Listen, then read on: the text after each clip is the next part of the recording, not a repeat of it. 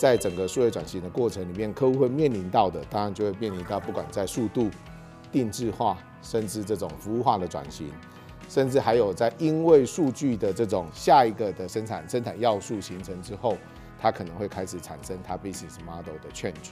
鼎新其实协助我们的客户要怎么面向这样的一个快速外注外部变化的环境的数位转型。那我们也在思考说，那鼎新该做怎么样的调整跟改变？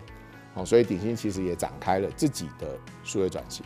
所以从客户的议题出发，解决方案的知识到工具的这件事情的结合，这就是鼎新其实在这个里面去做整个幅大幅度的改变跟调整。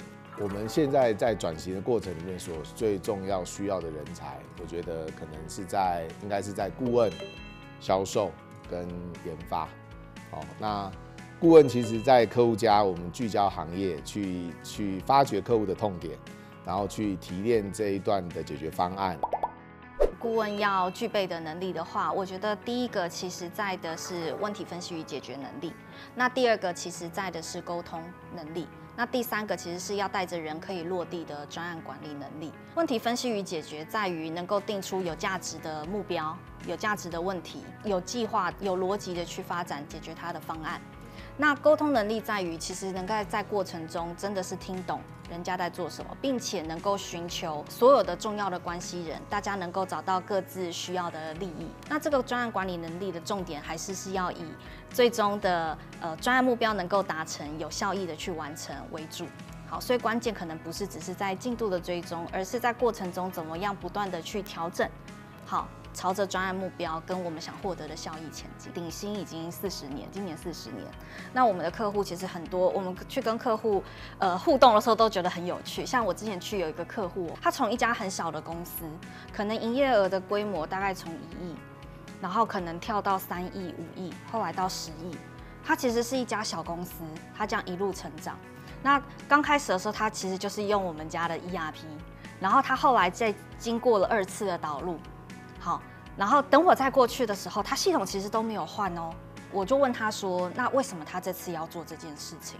那他跟我讲的事情是：我的客户没有我，他会没有办法在这个世界上存活。他他的产品是很厉害的，他就告诉我说，他在帮他的客户解决这样的问题。他觉得我们也在帮他解决这样的问题。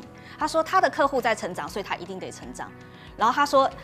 因为他们在成长，所以我们也跟着他们一起成长。当我们开始越来越从客户变成伙伴的时候，其实我们的关系是更紧密的。所以探讨的问题已经开始不是在限于呃厂商、供应商跟客户之间，我教你怎么用系统的问题，而是更多他开始的会是，他会请你听他讲他现在在面临的困境。其实我们比较谈谈的是困境。我们的销售其实能够把。我们所提炼的知识，啊，包含我们的成功案例的故事，如何能够扩散出去？我们的研发会回到我怎么把前段所提炼出来的知识，啊，经验，能够封装回产品里面。在我们公司，业务又称作规划师。什么是规划师？其实就是我们要先去倾听客户的需求，和了解他现在遇到了什么困难，我们在协助客户去规划一个方案。来协助他解决这个问题。那我们规划师又有分成呃新客跟老客。那什么是新客？新客其实就是在拓展新市场。好，以前从来没有买过我们的系统的，没有呃买过我们服务的这样子的客户。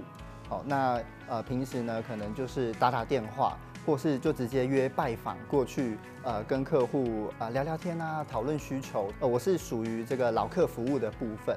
那他又更重于经营。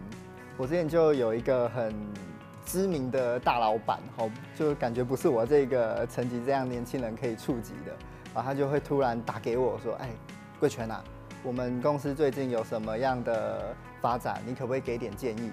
他就是很信任我们，才会做这样子的呃联系。对，这大概是我们的工作性质。我个人是觉得，就是不要被你的专业背景所框架住了。因为人生是有无限的可能的。那我在鼎新看到的，呃，像我服务的客群，其实呃客户群啊蛮广的。